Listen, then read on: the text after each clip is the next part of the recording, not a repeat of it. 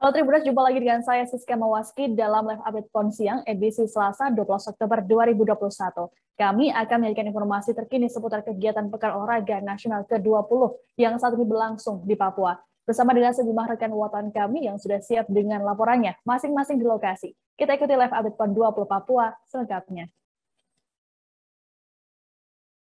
Meski pertandingan cabur voli indoor PON 20 Papua baru digelar pada pukul 14 waktu Indonesia Timur, sejumlah penonton mulai berdatangan ke venue sejak siang.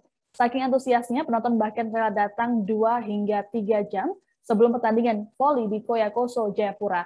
Adapun ada dua laga final yang digelar hari ini di sektor putra dan putri.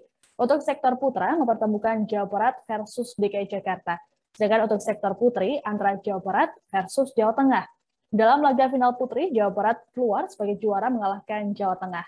Info lengkapnya akan disampaikan oleh jurnalis Mata Kota Rafsan Zani di lokasi. Halo, selamat malam. Maksud kami selamat sore, Rafsa. Selamat sore, rekan Siska. Rafsa, bisa dijelaskan seperti apa suasana di arena tribun? Ya, terima kasih rekan Siska. Memang sejak siang tadi, kalau di, di waktu Indonesia Timur, sejak pukul 12 siang, um, antusiasme masyarakat sangat tinggi mendatangi venue volley indoor di Koyakoso ini untuk menyaksikan dua laga final dan ini merupakan laga terakhir juga di cabang olahraga volley indoor uh, di mana di sektor putri ada Jawa Barat versus Jawa Tengah dan di sektor putra ada Jawa Barat versus DKI Jakarta. Dan baru saja usai laga final antara Jawa Barat versus Jawa Tengah di sektor putri di mana dimenangkan oleh Jawa Barat dengan skor 3-0. Pada set pertama Jawa Barat unggul 25-16. Pada set kedua Jawa Barat unggul 25-14 dan di set ketiga Jawa Barat memastikan raihan medali emas dengan unggul dengan skor 25-18. Dan saat ini yang berlangsung adalah pertandingan final antara uh, Jawa Barat dan DKI Jakarta di sektor putra. Seperti itu, rekan Siska. Rafsa bisa dijelaskan uh, seperti apa peta kekuatan dari, dari keempat tim yang berlaga di final ini?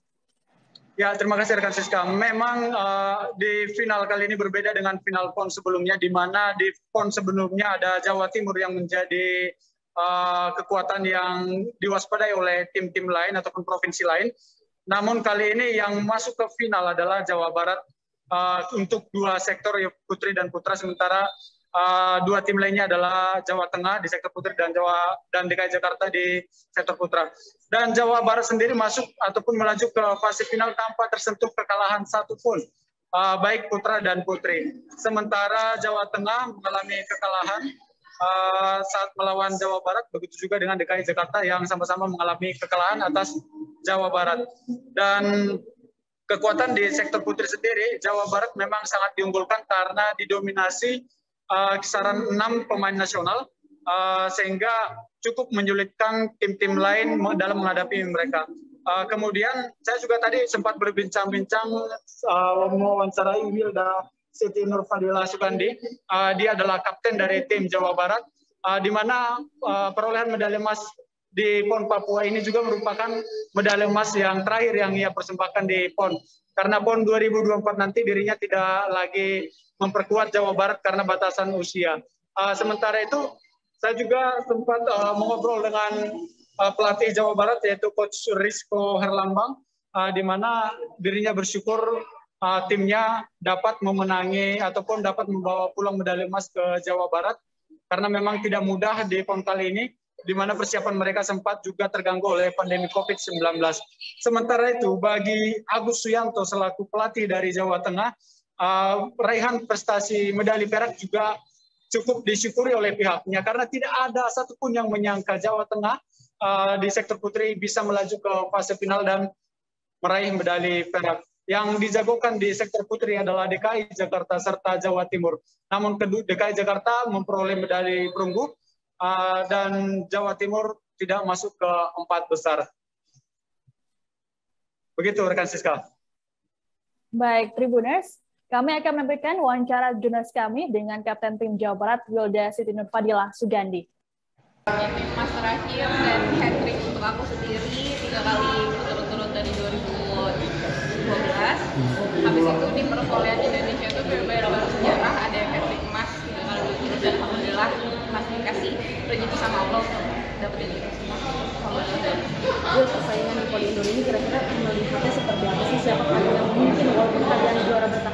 buat kuat kira-kira yang sudah bisa diremehkan saat ini?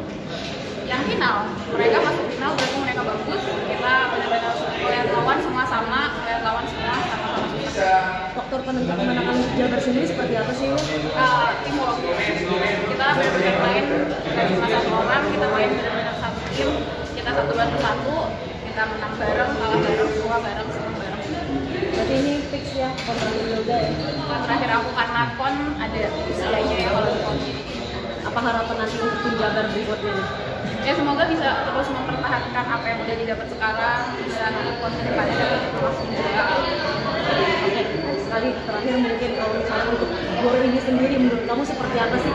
ini sih keren banget sih eh, maksudnya kayaknya ada deh di Indonesia sebesar ini gitu venue volley dan ada tempat latihannya juga. Dua bisa banget Mbak Wil, habis dari PON ini, ini kan ada SEA Games lagi nih. Ah, target di SEA Games gimana sih Mbak? targetnya pasti eh, masuk final ya karena kan kemarin kita sempat tunggu dan targetnya mungkin naik kita tetap targetin perak Tapi dari PON ini ada yang didapat pelajaran nggak Mbak untuk yang di, untuk dibawa nanti ke SEA Games nanti?